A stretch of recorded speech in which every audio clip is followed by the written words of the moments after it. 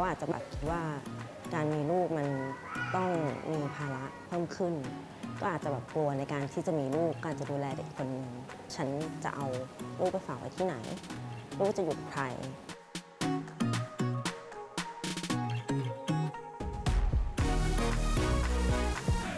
ประเด็นสำคัญที่ทำให้พนักงานกังวลก็คือเรื่อง work life balance ในวันที่เขามีครอบครัว ในวันที่เขามีลูกตัวเล็กๆเนี่ย เอ๊ะใครจะมาช่วยรับภาระนี้ไปจากเขานะครับ บริษัทสานพลังวิสาหกิจเพื่อสังคม กลุ่มปตทลงขันกันนะครับ จดทะเบียนขึ้นมาแล้วทำกิจการเพื่อสังคมดำเนินการจัดตั้ง daycare ตรงนี้ขึ้นมานะครับ daycare ก็จะมีภารกิจในการรับผิดชอบน้องๆที่เกิดใหม่นะครับที่เป็นลูกบุตรหลานพนักงานในกลุ่มปตทบางวันที่แบบ ที่บ้านไม่ไม่ว่างไม่มีใครอยู่ เราก็ต้องดูงานลางานดูแลลูกที่นี่ก็เปิดทุกวัน เรามาทำงานก็มาทุกวัน ใช่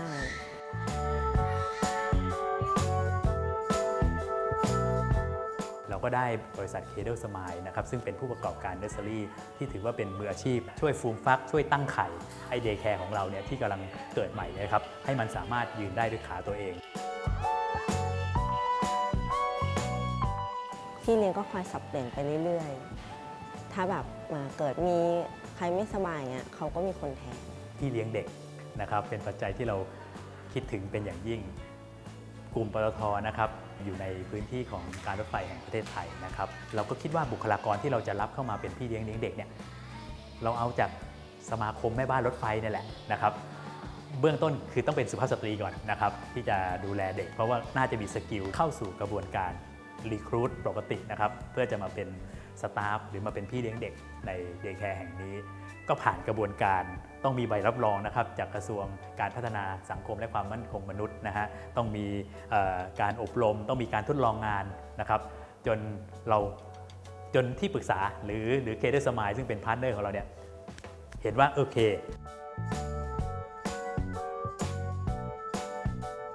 daycare นี้ไม่ใช่สวัสดิการนะครับ พนักงานจะต้องมีรายจ่ายในระดับหนึ่งที่สามารถทำให้สถานประกอบการนี้ หรือ daycare นี้มันอยู่รอด เปลี่ยนจากการที่เขาจะต้องไปจ่ายเงินให้กับคนที่เขาเอาลูกไปฝาก เปลี่ยนมาเป็นเอามา drop ที่ออฟฟิศแล้วก็ขึ้นไปทำงานได้เลย แล้วก็มีระบบอิเล็กทรอนิกส์ต่าง ๆ ที่จะทำให้เขาเนี่ยสามารถดูได้จากแอปพลิเคชันใน iPhone ใน iPad หรือในสมาร์ทโฟน เพื่อจะดูว่าบุตรหลานเขาเนี่ยยัง อยู่เป็นปกติดีไหมใน daycare ของเรานี่นะครับ มีคนช่วยดู แล้วก็ใกล้เราค่ะ แล้วก็แบบเหมือนรับส่งง่ายมาทำงานพร้อมแม่กลับพร้อมแม่ค่ะแล้วแบบเหมือนถ้าไม่สบายหรือแบบเป็นอะไรคือแม่ก็วิ่งมาดูได้ ไม่ต้องห่วง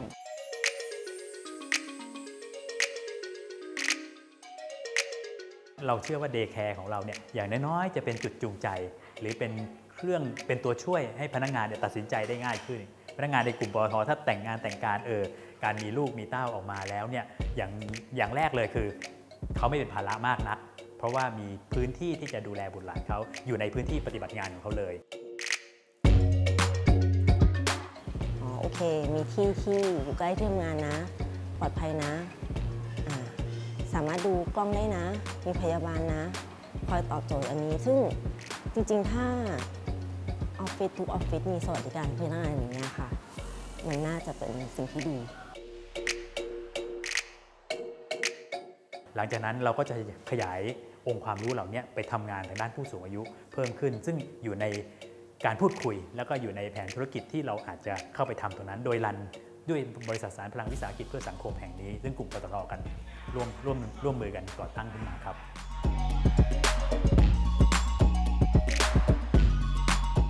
สนับสนุนโดย